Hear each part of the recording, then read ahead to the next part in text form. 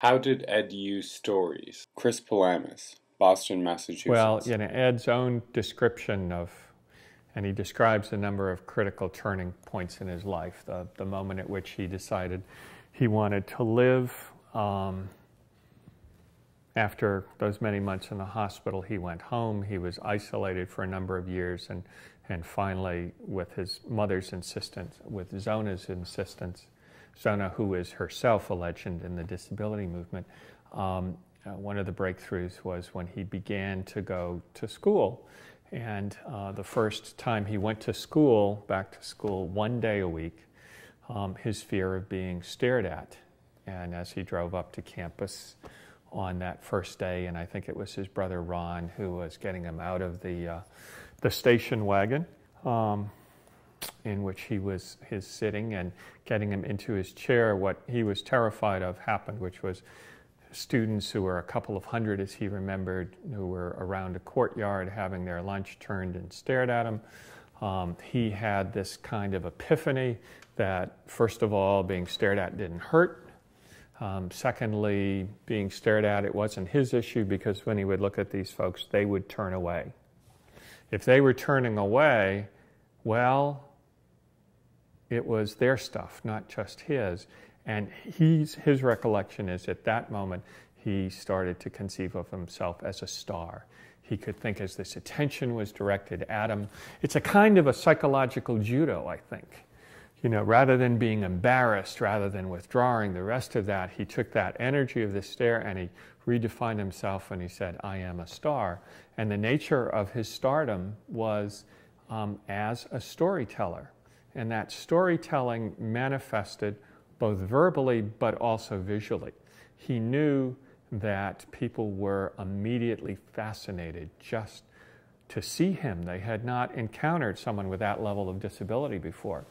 When I first heard Ed speak in, in Boston, I saw the magic of his rolling into the middle of a room in that huge chair. By then, he had control of an electric wheelchair. It was many years before that happened.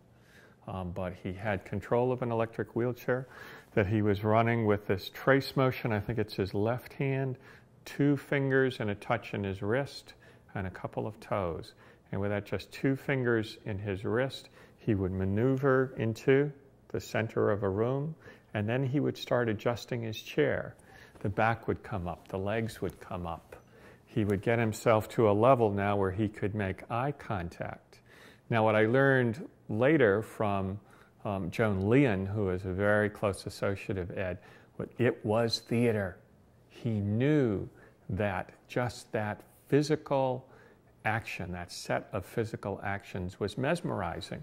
And that's what happened in the room that day. People were now completely focused and entranced. And then Ed started to tell his story.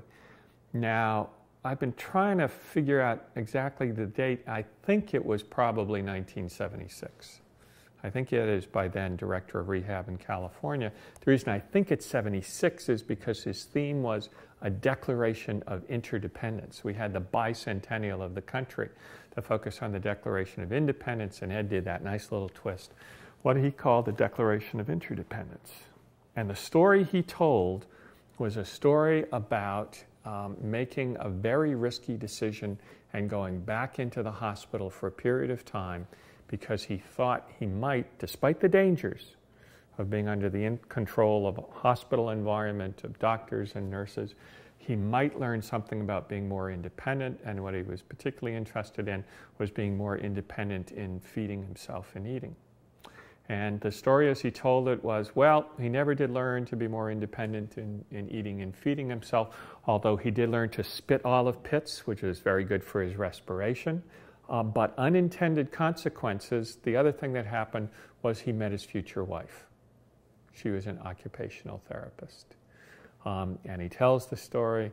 He met his future wife, and um, they married, and they had their son Lee together. Um, so it was kind of a weave of, of themes that people could relate to universally.